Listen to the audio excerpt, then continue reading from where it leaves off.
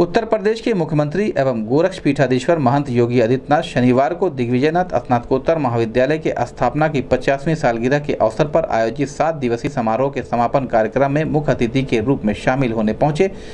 कार्यक्रम में शिरकत करने के बाद जब मुख्यमंत्री कार्यक्रम स्थल से निकले तो उनकी नज़र कार्यक्रम में भाग ले रहे एनसीसी, स्काउट और सांस्कृतिक कार्यक्रम प्रस्तुत करने वाले बच्चों के अनुरोध पर मुख्यमंत्री बच्चों के साथ ग्रुप फ़ोटो खिंचवाए।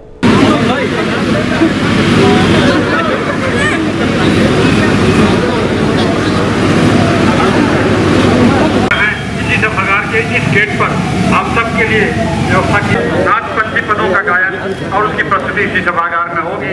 आप सब आमंत्रित हैं उस अवसर पर। बहुत बहुत धन्यवाद।